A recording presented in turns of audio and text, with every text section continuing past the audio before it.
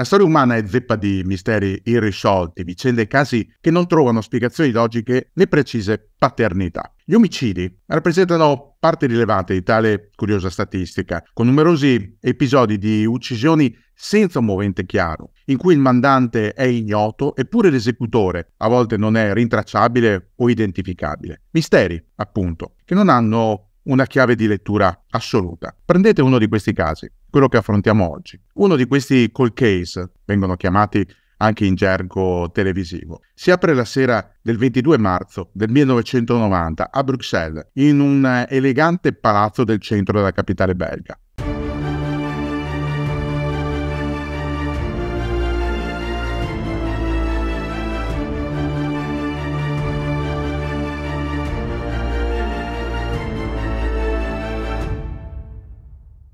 Primavera ancora non è del tutto arrivata in città. È un uomo tarchiato di mezza età, qua addosso un elegante soprabito di taglio inglese, entra nell'androne del palazzo, sale nella cabina dell'ascensore, dopodiché arriva al terzo piano dove è collocato il suo appartamento. Il tempo di giungere alla porta dell'appartamento e di infilare la chiave nella toppa. E quell'uomo è già morto. Tre killer sbucano dalle scale con passo felpato, non si fanno sentire, gli piomano alle spalle, gli sparano a bruciapelo cinque colpi alla testa e alla schiena, per poi fuggire senza lasciare tracce, nemmeno i bossoli espulsi dalle armi automatiche silenziate che hanno utilizzato nell'agguato. Indubbiamente si tratta di professionisti, non hanno lasciato nulla al caso. Sul pianerottolo resta accasciato quello che prima era un uomo, quello che adesso è un cadavere. Il cadavere del professor Gerald Ball, 52 anni, specialista di fisica balistica e padre di alcuni dei più potenti pezzi artiglieria mai creati dall'uomo. Quell'omicidio così insolito, perché d'altronde non si trovano tracce, non si trovano indizi, non c'è nulla che porti a un movente o a un mandante. Scuote a malapena il sonnacchioso ambiente belga, ma desta preoccupazioni da altre parti, in uffici statali, in Nord America e in Medio Oriente. D'altronde il dossier personale di Gerard Bull era presente già in numerosi ministeri della Nato ma anche negli uffici del patto di Varsavia e anche in alcuni paesi che vengono definiti non allineati, il famoso terzo mondo, con note caratteristiche spesso sottolineate in alcuni punti focali. Nato nel 1928 da una famiglia immigrata in Canada, Bolla era entrato a 20 anni all'IAS di Toronto, l'Institute for Aerospace Studies, sotto la direzione del dottor Gordon Patterson, una istituzione, quella dell'istituto, che godeva del finanziamento statale della difesa per progetti riguardanti l'aerodinamica, la propulsione a getto e la fisica. Qui il giovane Bull aveva ottenuto una borsa di studio per realizzare una galleria del vento supersonica e anche per partecipare al programma missilistico Velvet Globe. Infine si era specializzato in balistica. Ormai concluso il percorso accademico e prossimo all'uscita dall'ambito dell'insegnamento, il giovane ingegnere aveva focalizzato il proprio interesse su un programma, il programma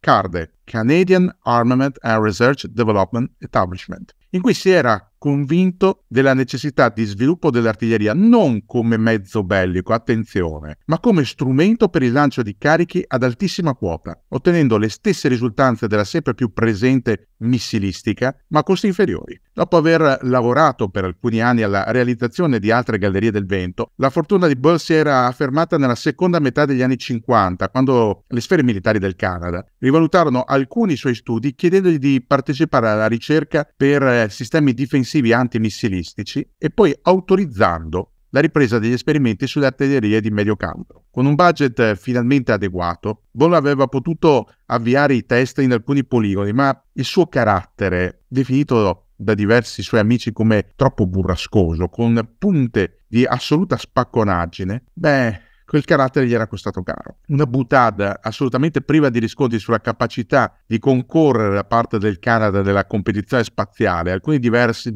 con i suoi superiori al ministero gli avevano causato il licenziamento nel 1961. Le sue ricerche, tuttavia, avevano destato l'interesse di altri accademici che cominciarono a investire su di lui. Non passò molto tempo, infatti, prima che la McGill University di Toronto gli affidasse la direzione di un dipartimento di ingegneria sulle ricerche ad alta quota. Stava nascendo il progetto HARP con un poligono privato alle Barbados, dotato di un vecchio cannone da 406 mm acquistato in saldo dalla US Navy. Con quel pezzo di derivazione navale, Bull iniziò a sperimentare i lanci ad alta quota, riscontrando un successo soprattutto mediatico, con articoli costanti scritti dalla stampa specializzata, quella aerospaziale e quella della difesa, che ne lodava l'efficienza in rapporto ai costi sostenuti dalla NASA per sperimentazioni sui missili. Il budget previsto consentì a Bull di lavorare per cinque anni, affidando i proiettili speciali per la messa in orbita di oggetti inerti, arrivando al record mondiale di 180 km di altezza, prima che la spinta inerziale della sua iniziativa accusasse i primi contraccolpi. Al governo canadese cominciò a non piacere l'attivismo di quello che riteneva essere un suo ex dipendente un po' riottoso e nel 1967 dispose affinché le erogazioni di denaro al progetto HARP cessassero entro l'anno successivo. Di nuovo senza un committente, senza un lavoro, Ball si reinventò, divenne imprenditore, attingendo ai suoi esperimenti al materiale rimasto in suo possesso, fondò la Space Research Corporation, una compagnia di consulenza. Tuttavia, a dispetto del nome, la Space Research Corporation non trovò mai committenti nell'ambito della ricerca aerospaziale. Piuttosto attirò l'interesse di paesi non allineati che volevano aggiornare la propria artiglieria da campagna. Lavorando su una base consolidata, quello dell'obice americano da 155 mm,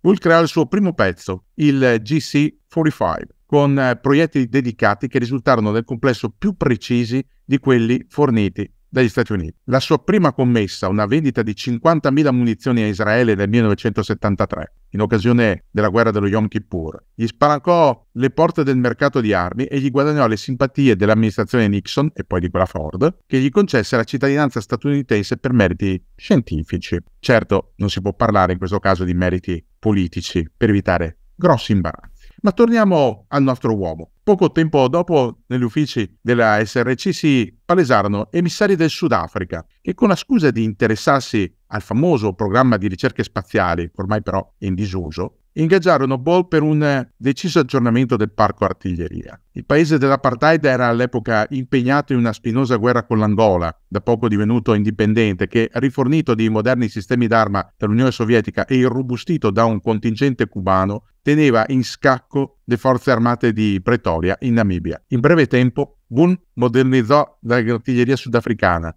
sviluppando il G5, un obice derivato dal suo primo progetto, e successivamente una versione semovente dello stesso cannone, oltre a garantire una fornitura di 30.000 proiettili. Con queste armi il Sudafrica ebbe la meglio sui cubani, ma per somma sfortuna dell'ingegnere, la nuova dottrina varata dall'amministrazione Carter, subentrata dopo le elezioni del 1976 a quella di Jerry Ford, una nuova dottrina in tema di forniture belliche, beh, gli risultò assai nefasto. Nel 1979 l'FBI arrestò Bull con l'accusa di aver imbastito un traffico illegale di armi in un paese sotto embargo internazionale. A nulla valsero i tentativi dei legali dell'ingegnere di dimostrare l'iniziale appoggio di funzionari americani all'operazione. Deluso e amareggiato, Bull si ritrovò a scontare sei mesi di carcere in un penitenziario federale e a pagare una sanzione dopo l'altra, dopo che i suoi connazionali scoprirono che aveva accettato una commessa dalla Cina senza pagare i diritti doganali. Uscito di prigione, Bull decise di rompere con le sue radici nordamericane, sia quelle statunitensi che quelle canadesi, trasferendosi definitivamente a Bruxelles, dove già operava un ufficio periferico della sua società, senza più stimoli concreti,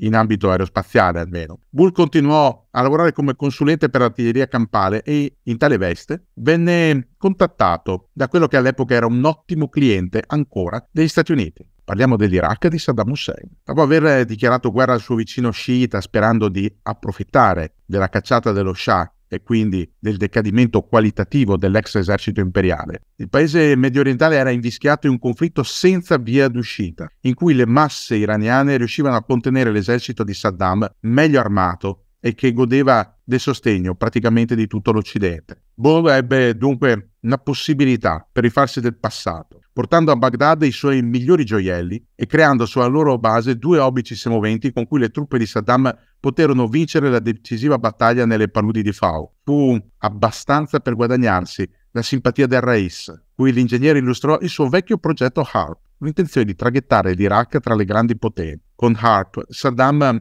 avrebbe potuto lanciare in orbita un satellite al 100% iracheno, assumendo un ruolo di primaria grandezza nella regione medio orientale e ottenendo un riconoscimento internazionale assoluto. In cambio di aggiornamenti ai vecchi Scud B, rozzi missili balistici sovietici che l'Iraq aveva acquistato in gran numero a prezzo di saldo, Bull fu autorizzato a riprendere le ricerche su base HARP, disegnando due supercannoni avrebbero costituito il nervo del programma spaziale iracheno, nome in codice Babilonia. Mentre lavorava a Babilonia, Bull si accorse di alcune stranezze. A Bruxelles, ormai diventata casa sua, vide in ben due occasioni degli sconosciuti che lo pedinavano. Il suo appartamento fu visitato da ignoti che gli lasciarono dei messaggi sotto forma di bicchieri spostati, cassetti aperti, videocassette riavvolte nel registratore. L'ingegnere cominciò a preoccuparsi e una sera di febbraio del 1990 richiese un contatto con l'addetto dell'ambasciata statunitense per confidare i suoi timori. Il colloquio che ne seguì sembrò tranquillizzare Ball, che riprese il suo lavoro sino a quella sera del 22 marzo, quando quelle cinque pallottole misero fine per sempre alla sua vita. Allora resta la nostra domanda iniziale. È un cold case, non è stato ancora risolto. Chi ha ucciso Gerald Paul. Nessuna verità è stata accertata, a parte la presenza di tre individui non identificati nel palazzo in cui abitava pochi minuti prima dell'assassinio. Quello che fu probabilmente il plotone d'esecuzione dello scienziato venne scorto da alcuni residenti mentre scappava con discrezione dall'agguato, dileguandosi a bordo di un'auto risultata rubata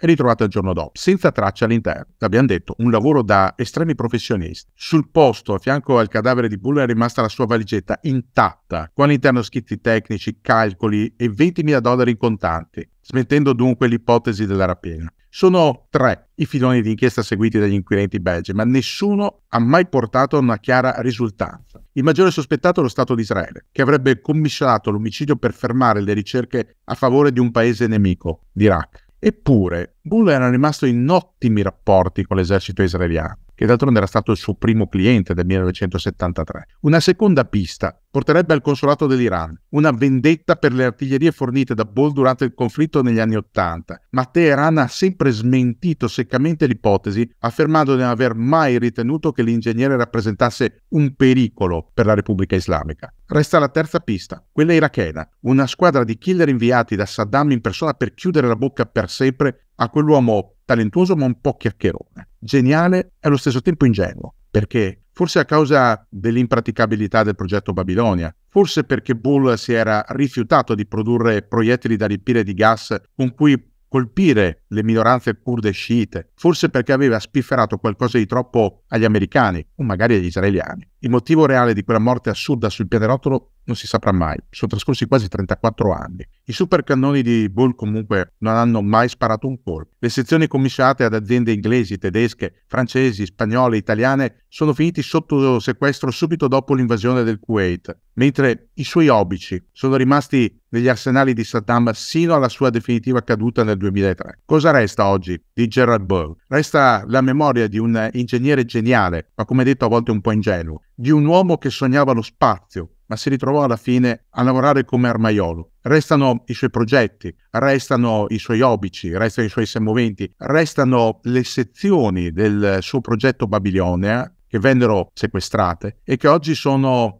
esposte in alcuni musei. E allora ci resta un'ultima domanda su Gerald Ball. Quell'idea del supercannone capace di sparare proiettili nello spazio tali da collocare satelliti in orbita era una possibile realtà o solo il magnifico sogno di un canadese talentuoso ma un po' spaccone?